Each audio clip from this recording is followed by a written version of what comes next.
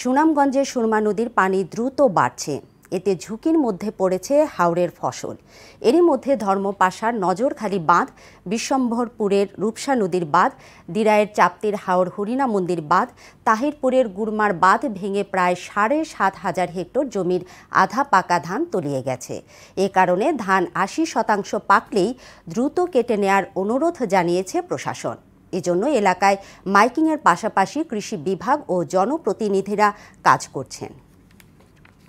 যেখানে আশি শতাংশ ধান পেকে গেছে, সেই জমির ধান সকলে মিলে আমরা দ্রুত কেটে ফেলার ব্যবস্থা যদি করতে পারি, তাহলে আমরা অনেকটা নিশ্চিত হতে পারি। আমি কৃষক ভাইদেরকে অনুরোধ করব যে আশি শতাংশ ধান পেকে গেলে সেই ধানটি দ্রুত কেটে ফেলার ব্যবস্থা করার জন্য।